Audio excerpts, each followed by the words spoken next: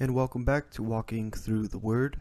Today we're going to be looking at Romans chapter 4. So if you have your Bibles, open them with me as we walk through the Word together. Uh, last time we saw Paul talking about those um, who come to Jesus Christ through faith. Those are the ones who fulfill the law because it is only by faith. It has always been uh, by faith. Um, and as we're going to see here in Romans chapter 4, we're going to see that Paul recognizes that even Abraham um, was justified in the sight of God through faith and not by works. So let's dive into the scriptures.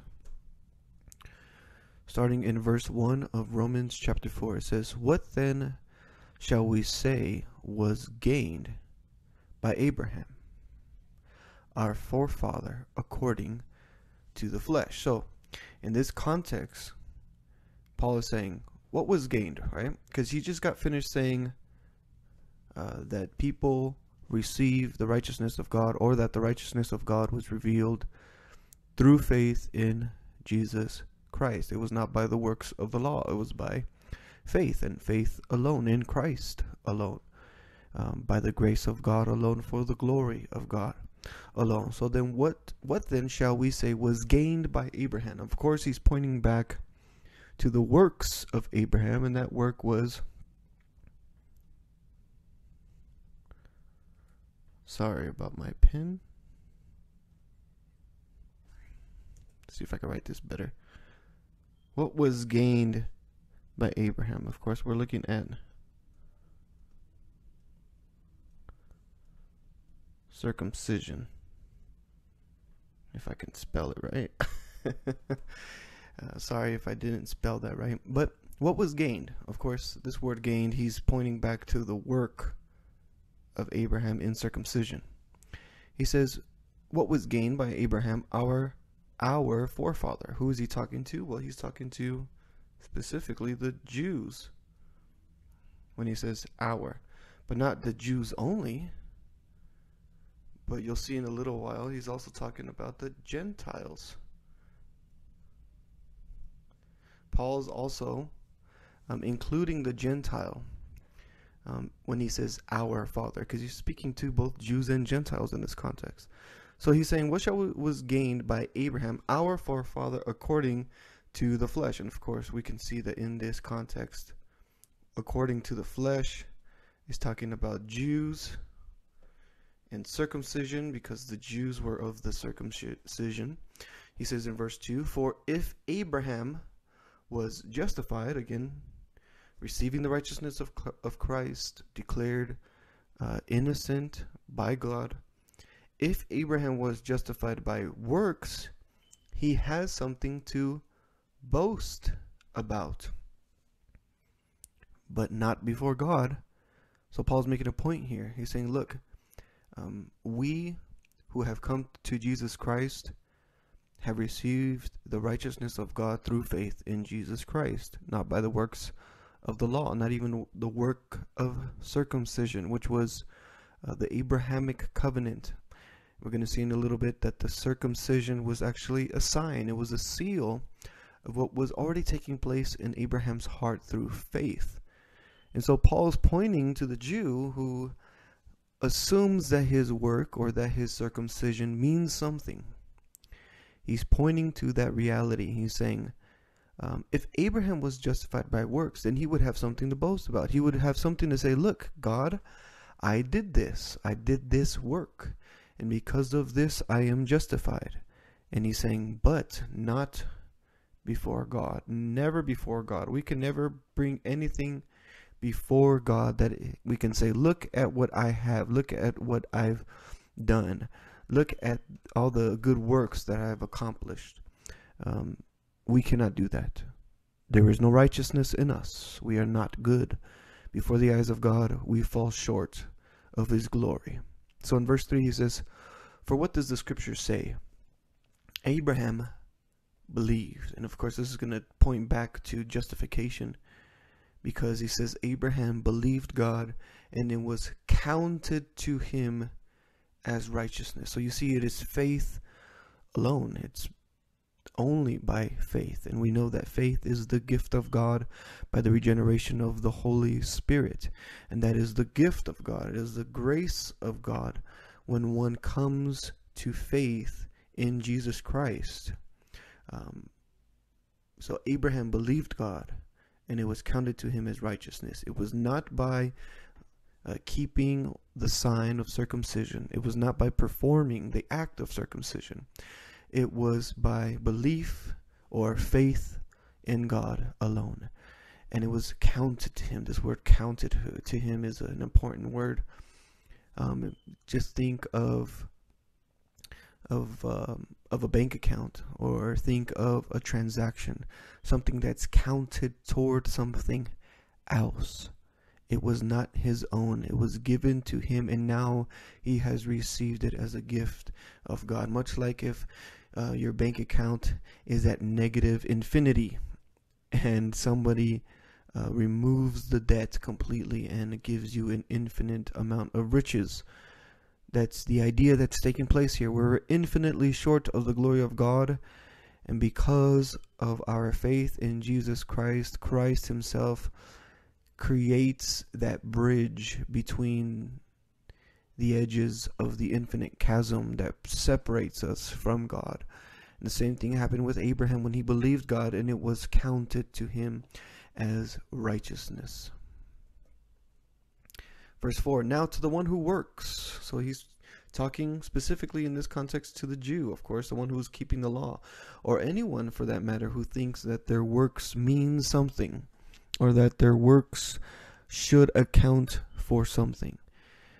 He says, Now to the one who works, his wages his wages are not counted as a gift. And of course, this points back to Romans chapter 3, uh, when he's talking about uh, receiving the righteousness of God through faith in Jesus Christ by grace as a gift. Um, now he's pointing back to that and says, Look, if you work, you rightfully earn your wages. You deserve your wages because you worked for him. Um, the wages that he receives uh, for his work are not a gift, they are his due. It's what he is owed. But in verse 5, he says, And to the one who does not work, but believes, and again, this ties back to the gift, but believes in him who justifies the ungodly. That's us. We are the ungodly. We are the depraved, the separated. Romans chapter 3, verse 10 through 12. No one does righteousness, no, not one. No one seeks to understand. All have become worthless. We are the ungodly. So we cannot work for our justification. Just like the one who works and receives his wages as a due, that's not a gift of God. That is a mandatory payment. We cannot compel God to give us his grace. There is no amount of works there's nothing that we can do within ourselves that demands God to give us salvation or his righteousness except belief in him who justifies the ungodly. Because that belief that gift his faith is counted as righteousness just as it was counted to Abraham. That's what he's making the connection here. Just as Abraham believed God's promises, and that kind of belief that he um, that he exercised, uh, that accounted to him as righteousness before God. In verse 6 it says, Just as David also speaks of the blessing of the one to whom God counts righteousness, accounting, same idea, righteousness, apart from works. So it's not by works, it's by faith alone. And he's pointing to David's words um, in the psalm where he says in verse 7 Blessed are those whose lawless deeds are forgiven and whose sins are covered. And our sins are indeed covered, they are removed by the blood of Jesus Christ. Remember, this is This is atonement.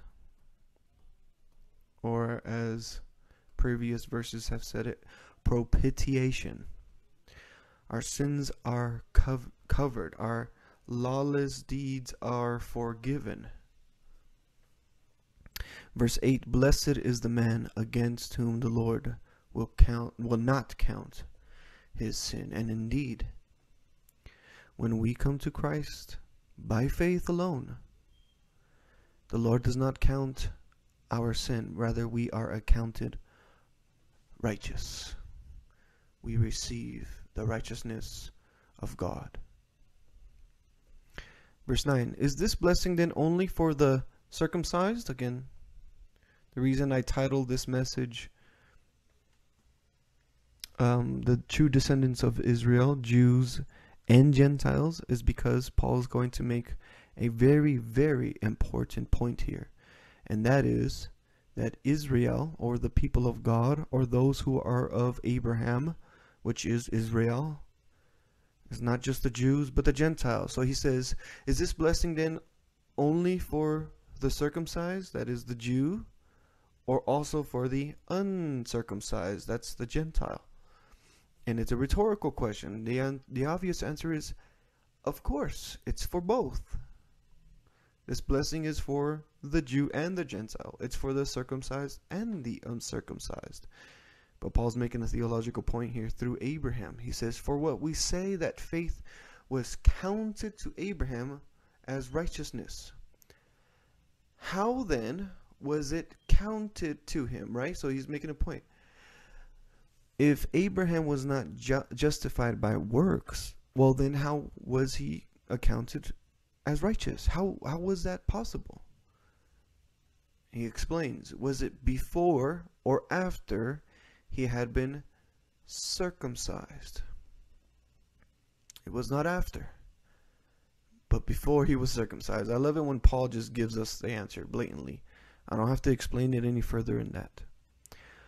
Those who are accounted as righteous before God through faith in Jesus are not um, receiving the righteousness of God through works. It is only by faith. That's what Paul's point is here. Um, that's what Paul's point is throughout uh, the majority of the book of Romans is that Israel, um, though they had the law, though they had the prophets, though they had the works and the circumcision, they did not pursue it by faith. They thought that they could receive the righteousness of God through works, and therefore they were condemned before God. Abra- he received the, the sign, that's Abraham received the sign. He received the sign of circumcision as a seal. As a seal. So circumcision, in this case, is uh, synonymous with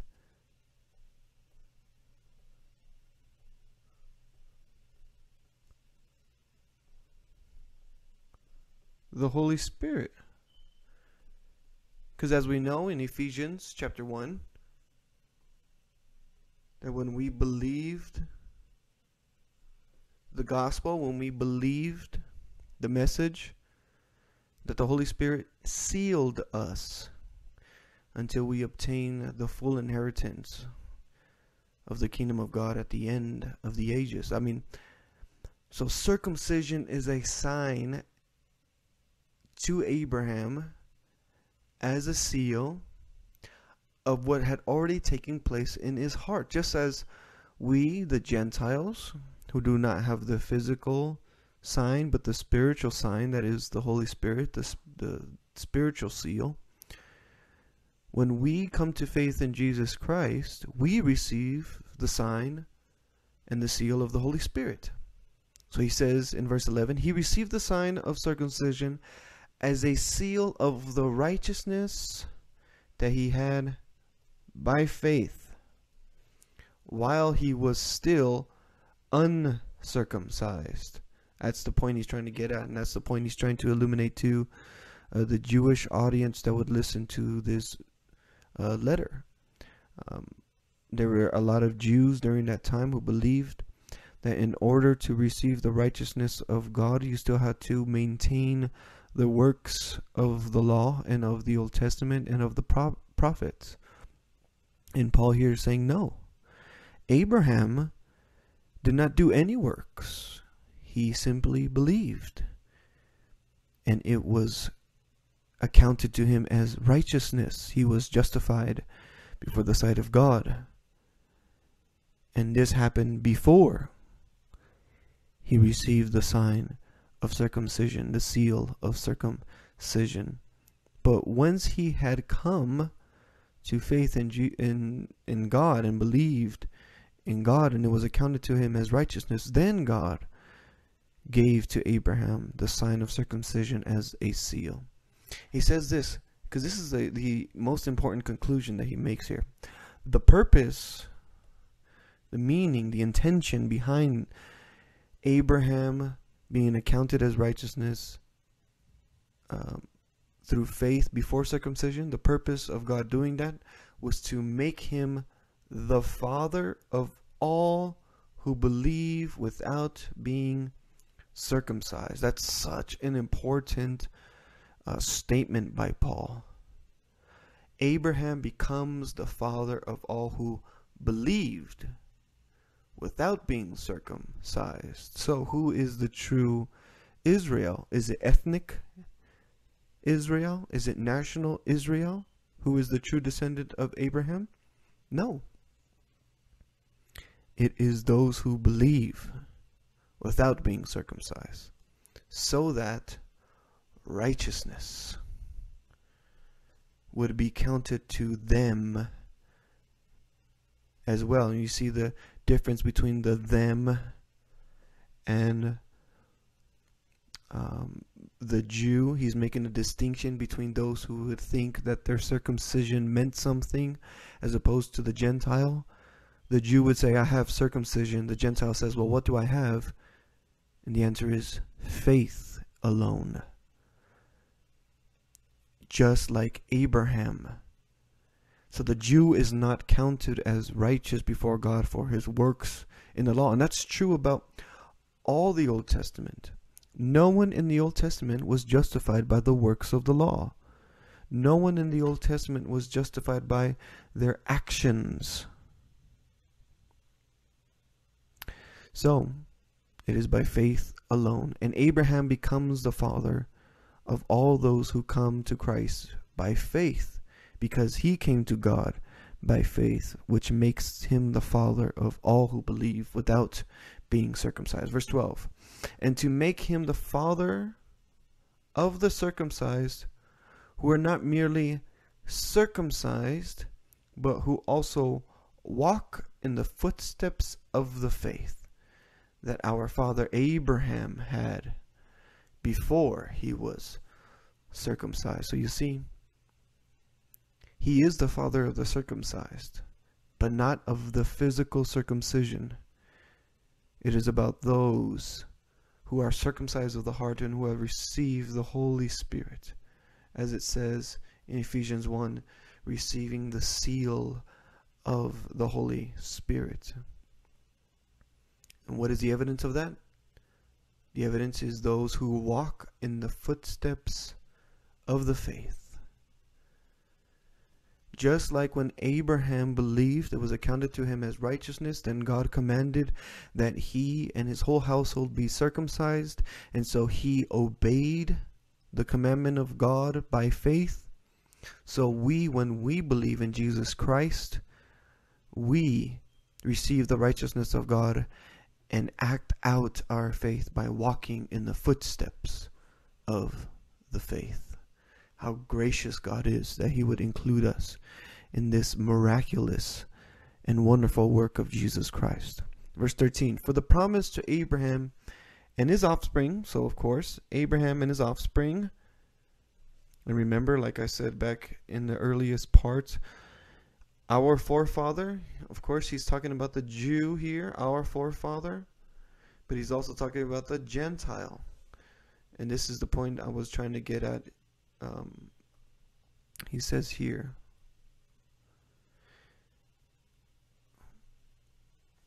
For the promise to Abraham and his offspring, his offspring is not just Jewish people, but it's also Gentile people.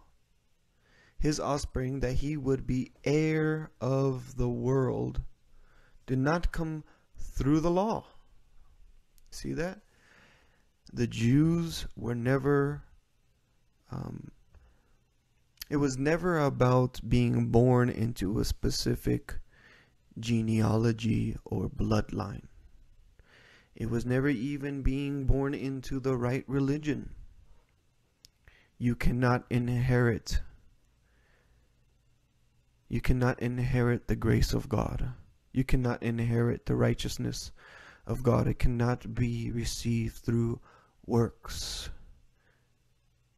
Because the promise to Abraham and his offspring that he would be heir of the world did not come through the law, but through the righteousness of faith. And who are those who adhere to that reality? Jews and Gentiles.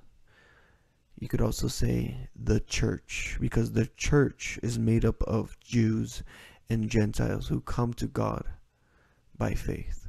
Verse 14 For if if it is the adherents of the law who are to be the heirs, and of course that's talking about the kingdom of God, the ones who are to receive the righteousness of God, salvation, um, the eternal reign of Christ. If it was about the adherents of the law, then faith is null. You see that here? Then faith is meaningless. It becomes nothing.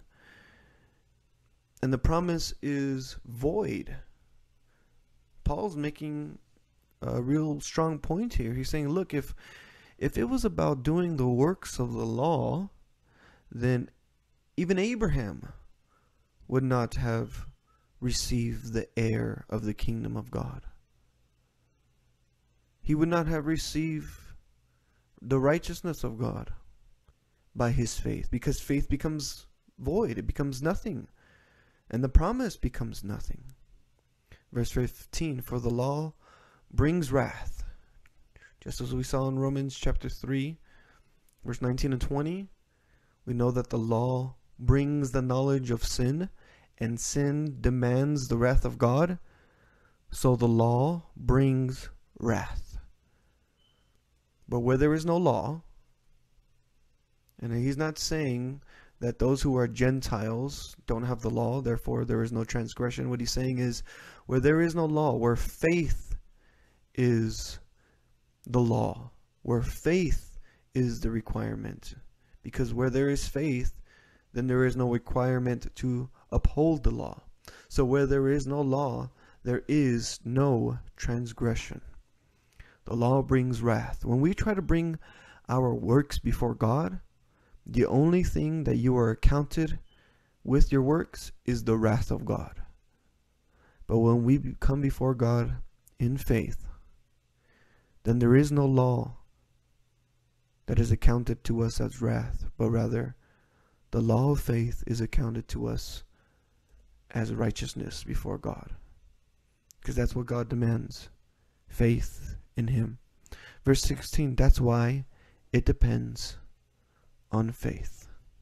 I love the consistency of Paul and just his deep theological thought in all of this.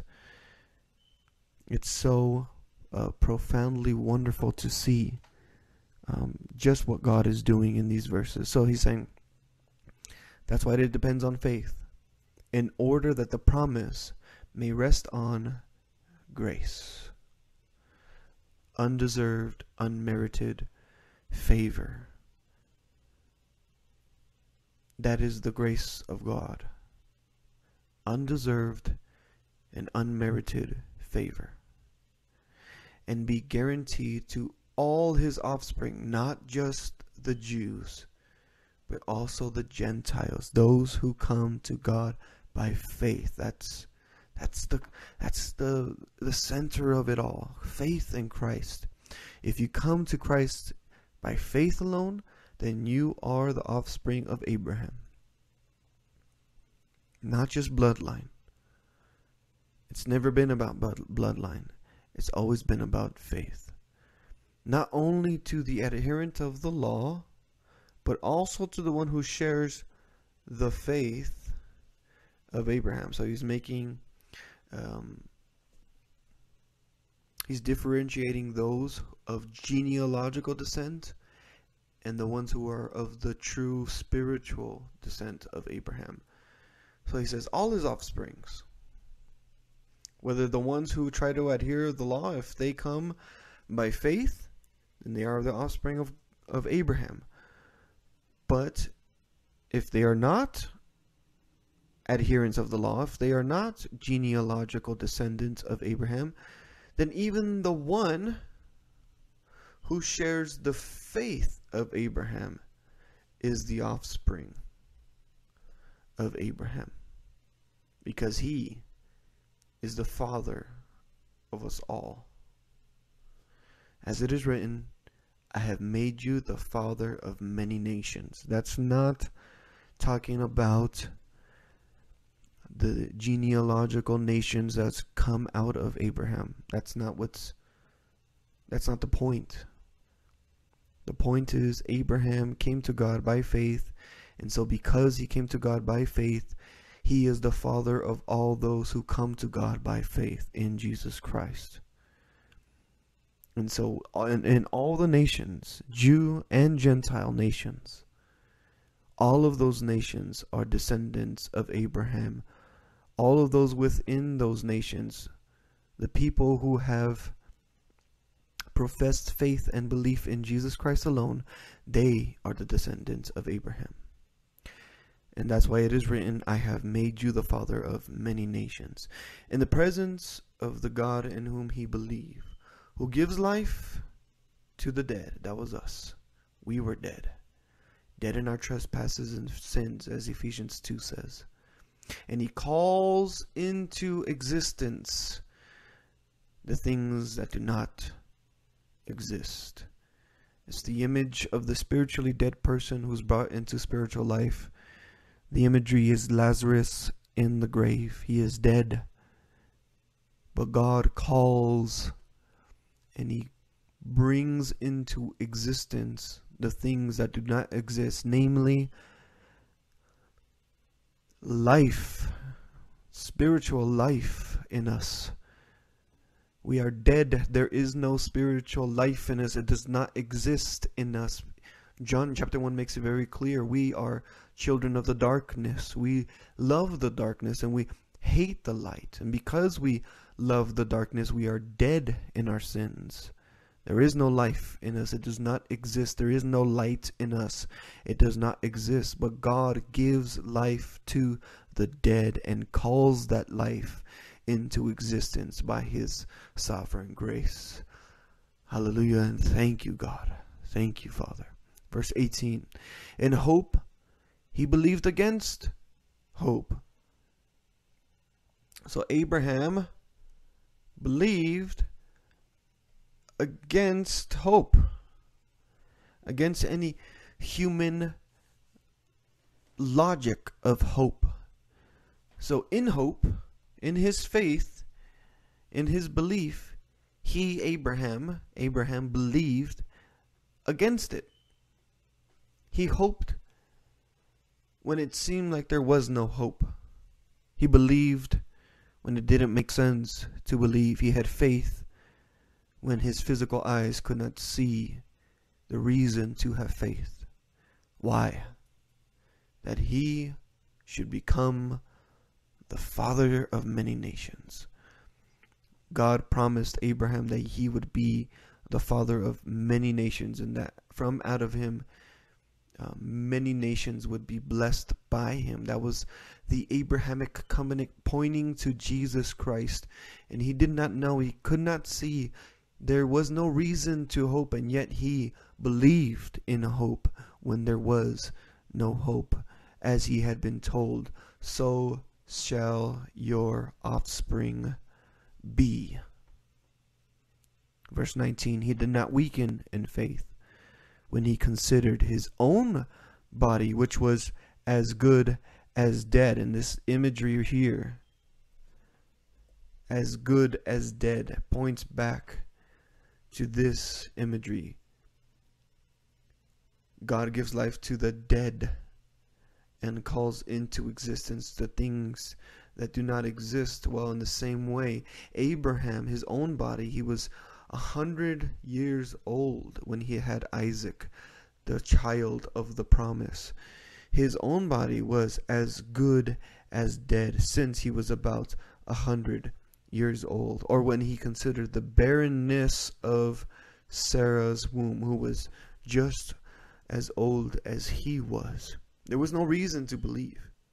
There was no reason for him to have faith. His he was a hundred years old. And his wife was nearly as old as him.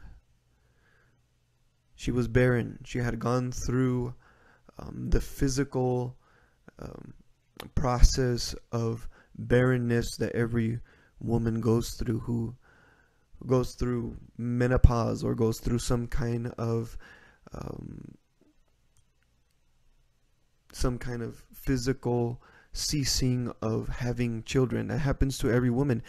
And Abraham said, Look at me. I'm uh, I'm a hundred years old and my body is pretty much as good as dead. I'm an old man and my wife has gone through barrenness already.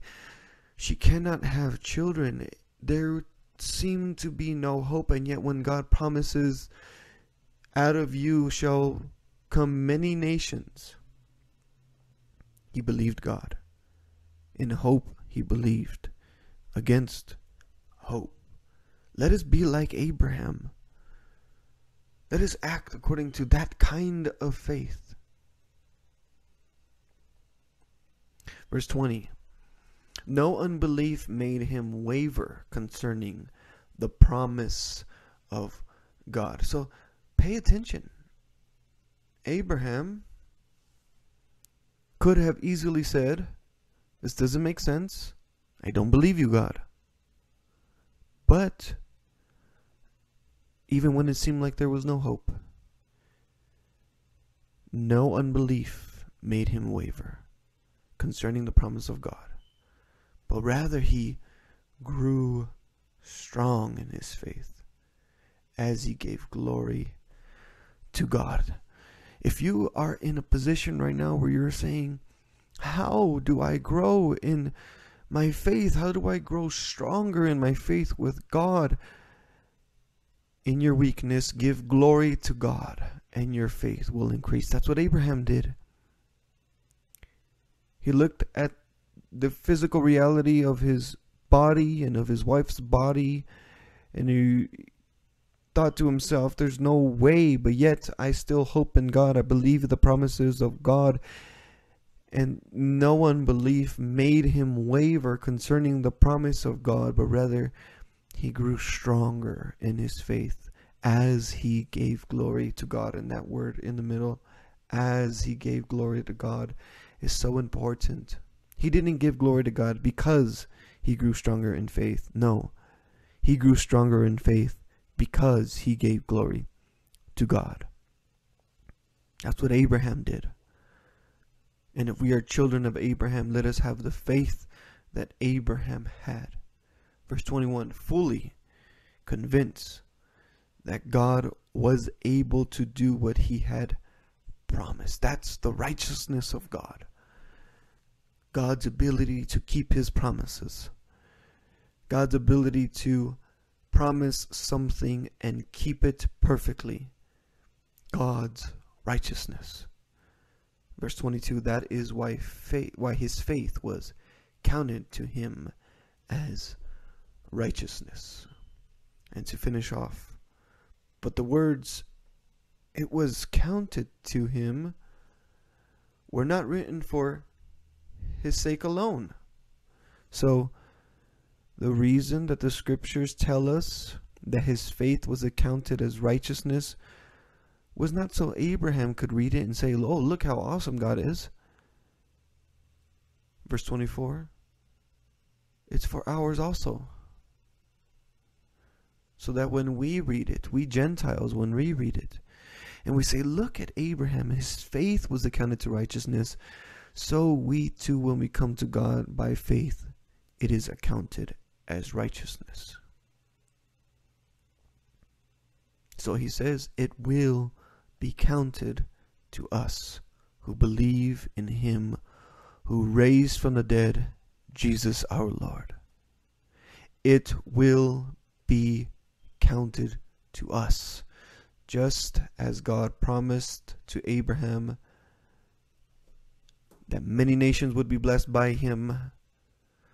So we who share in the same faith that Abraham had, it will be counted to righteousness as well to us, just as it was to him, because it is by faith.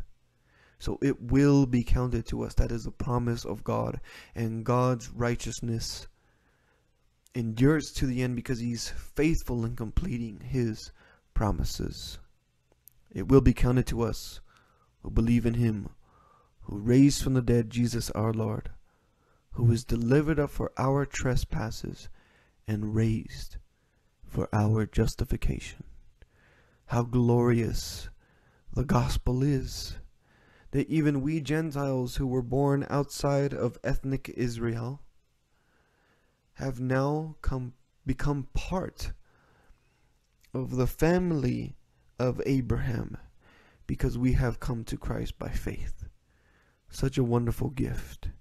And that's why the true descendants of Israel are not just those who are physically descendants of Israel it's not just those who practice the law. It's not those who are circumcised.